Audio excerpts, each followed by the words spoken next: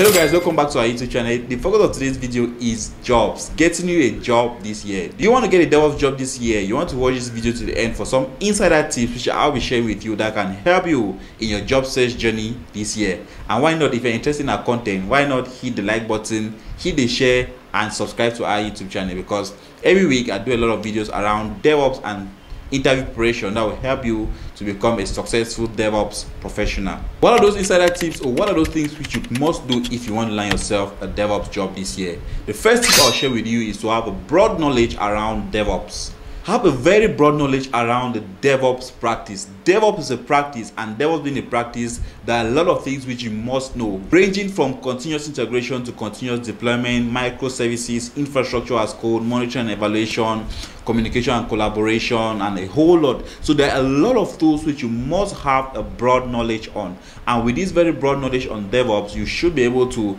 have the right motivation to get yourself a job this year. Maybe you've actually studied DevOps in a particular cloud style like Amazon Web Service or Microsoft Azure or Google Cloud. With a broad knowledge in one cloud technology, you can easily gain mastery of another cloud and that in itself will give you the right motivation or will give you an upper hand during interviews. So have a very broad knowledge around DevOps as a practice, have a broad knowledge on some of the key DevOps tools that are being used, and that way you'll be sure to secure a job this year. The second thing I want to share with you is do a lot of hands-on.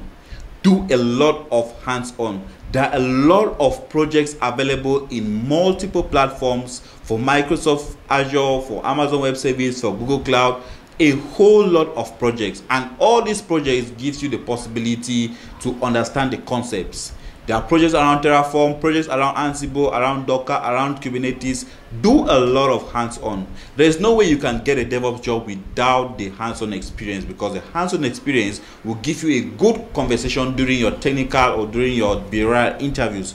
And with this hands-on experience you can effectively work with recruiters and even when you get the job you can effectively stay longer in the job. Because it's not just about getting a devops job but it's actually keeping that job till the end so you need to do a lot of hands-on projects. I have a special bootcamp which I'll be running eight DevOps projects in eight weeks. So you want to check the video description to get yourself part of this bootcamp and get yourself of skill with the lot of hands-on projects which you have in this particular bootcamp. So do a lot of hands-on if you want to actually land yourself a dream job this year. The third thing I'll share with you is when applying for jobs, maybe on LinkedIn, on Dice, on Indeed, or wherever the case might be, you must do a lot of analysis on all job descriptions, not just for the particular job. You must be able to have a detailed analysis of your job or of the job description which you're applying for. Now, what happens is a lot of people go on LinkedIn and they just go, they find thousands of jobs being posted every day and they just click apply, apply, apply without spending the necessary time to even understand the dynamics of the industry.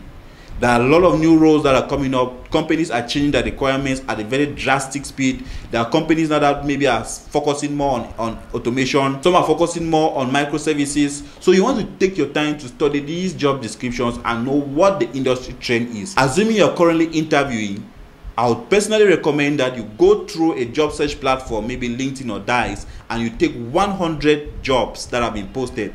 Of those 100 jobs that have been posted, do the needful study to analyze or to pick out the skills. Maybe if this particular job requires AWS expertise, or this particular job requires Azure, this particular job requires GitHub, this particular job requires Terraform, and so on pick out all those skills that are required in most of the job postings and now once you can pick out all these skills if you're going through a bootcamp and they're not able to cover some of those technologies do yourself due diligence to do a lot of research around these technologies. I shared in one of my previous videos that for you to actually learn DevOps faster you must have the habit of continuous learning. You must be in a continuous pursuit for knowledge in the DevOps and cloud space. So once you're doing a lot of hands-on across multiple technologies in the DevOps space, you find yourself that during technical interviews, you won't stutter. You actually give out the experience like you are one hell of a profession. So do yourself due diligence to do a lot of hands-on and equally spend a lot of time analyzing job descriptions. And before every job,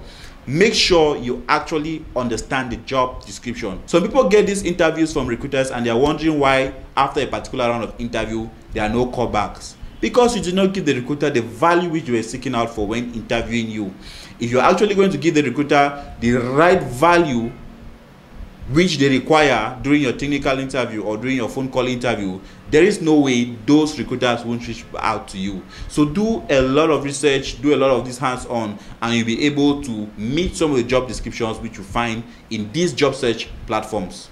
Now the fourth tip i'll share with you is do a lot of interview preparation. I tell people learning devops is a skill or learning the devops technologies they are all skills. Interviewing as well is a skill and you need to build your self competence in taking interviews. You cannot underestimate the importance of knowing how to take an interview.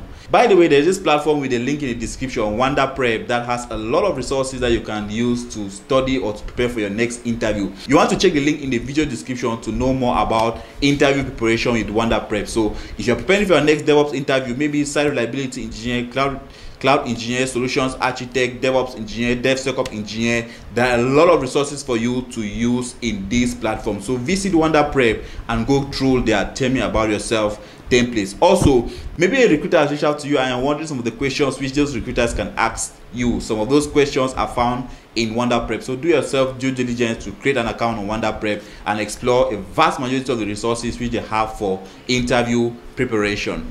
And lastly, do a lot of projects. Do a lot of projects. Be made of projects. In fact you should have a very very big repository of projects. There is no way you get a devops job without being a professional. Currently there are a lot of devops jobs. There are a lot of professionals but it takes the best of the best to get the jobs. So why will you not take out the time to do some of these devops projects if i were you every day i set on myself to do a particular devops project. And the problem which and the mistake which some people do is while doing devops project they don't understand the thought process or the requirements of that particular project. When you pick a particular project understand what is the end goal for this project. Don't just go to your aws console or to your azure portal and you're just creating resources out of the blues. What is the goal? What are they trying to achieve? How does this add value to a company for each project you're doing try to identify all those key points. How does this project add value to a particular team or how does this project enforces the devops practice? Once you're able to pinpoint all those key components you find yourself actually understanding these technologies. So while doing a lot of these devops projects understand the fundamentals. What are the requirements of this particular project which we are setting up?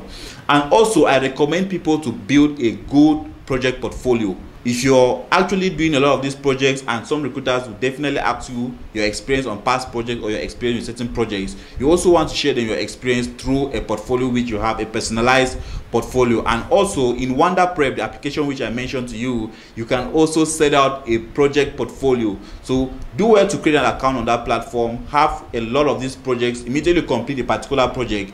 Go to the platform document your project copy your portfolio link and share with the recruiters or you can add that in your resume such that the moment someone is about to recruit so that such that the moment someone is about to interview you the person already has an idea of some of the projects which you've already worked so they don't necessarily need to ask you what project that you worked on. All those projects will be found in your project portfolio link in Wandaprep. So do yourself well to follow some of these tips. First like i mentioned have a very broad knowledge on devops. Secondly do a lot of hands-on projects. And don't forget to join my eight weeks eight projects bootcamp that is currently running. And also analyze job descriptions to understand the trend. Analyze a lot of these job descriptions to understand the current devops trend. And why not go on to do good interview preparation? If you want to get yourself the interview do a lot of interview preparation. And lastly do these projects. And guess what? If you're having issues doing particular projects do not be discouraged because the moment you try to do a project and you do not succeed that alone is troubleshooting experience the troubleshooting experience is also what is required in interviews or is also what is required on the job. So some people actually try to give up after they've tried to do a particular project and it's not going. Do not give up. Do those projects even if those projects don't move to the end like i mentioned understand the thought process behind the project troubleshoot to the best of your ability and then document that project and you find yourself able and ready for your next devops job. If you found this video helpful and you're not yet subscribed hit the subscribe button right away like this video. If you want me to do anything that will be of help to you leave that in the comment section and why not? See you in my next video